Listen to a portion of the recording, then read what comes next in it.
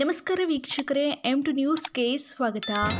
ರೈತ ಸಂಘದ ಒಕ್ಕೂಟಗಳಿಂದ ವಿಶ್ವನಾಥ್ ಪಾಟೀಲರಿಗೆ ಭಾರೀ ಬೆಂಬಲ. ಪಟ್ಟಣದ ಶೂರ ಸಂಗೊಳ್ಳಿ ರಾಯಣ್ಣ ಉದ್ಯಾನವನದಲ್ಲಿ ರೈತ ಸಂಘಗಳ ಒಕ್ಕೂಟದ ಎಲ್ಲ ರೈತ ಮುಖಂಡರಿಂದ ಪೂರ್ವಭಾವಿ ಸಭೆ ನಡೆಸಲಾಯಿತು.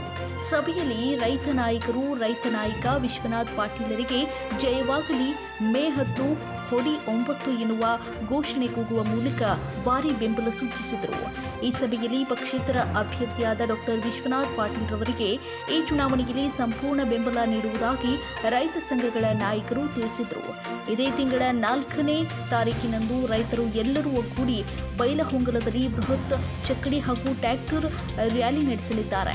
ಈ ಸಂದರ್ಭದಲ್ಲಿ ಮಾಧ್ಯಮದವರೊಂದಿಗೆ ಮಾತನಾಡಿದ ರೈತನ ನಾಯಕರು ರಾಜ್ಯದಲ್ಲಿ ರಾಜಕೀಯ ಪಕ್ಷಗಳು ರೈತರಿಗೆ ಏನು ಮಾಡಿದ್ದಾರೆ ಎಂದು ತಿರುಗಿ ನೋಡಿದರೆ ಯಾವ ಪಕ್ಷಕ್ಕೂ ಮತ ಹಾಕಲೇಬಾರದು ಎನ್ನುವಷ್ಟು ನೊಂದಿದ್ದೇವೆ. ಹೀಗಾಗಿ ಒಬ್ಬ ಸಾಮಾನ್ಯ ಮನುಷ್ಯರಂತೆ ರೈತರ ಎಲ್ಲಾ ಸಮಸ್ಯೆಗಳಿಗೆ ಸ್ಪಂದಿಸುವ ರೈತಪರ ನಾಯಕರಾದ ಡಾಕ್ಟರ್ ವಿಶ್ವನಾಥ್ ಪಾಟೀಲ್ ಅವರಿಗೆ ಬೃಹತ್ ಸಮಾವೇಶ ಮಾಡುವ ಮೂಲಕ ಈ ಬಾರಿ ಮತ್ತೊಮ್ಮೆ ಇತಿಹಾಸ ಮರುಕಳಿಸುವಂತೆ ವಿಶ್ವನಾಥ್ ಪಾಟೀಲ್ ಅವರನ್ನ ಎಲ್ಲ ರೈತರು ಸೇರಿ ಚುನಾವಣೆಯಲ್ಲಿ ಗೆಲ್ಲಿಸಲು ತೀರ್ಮಾನ ಮಾಡಿದ್ದೇವೆ.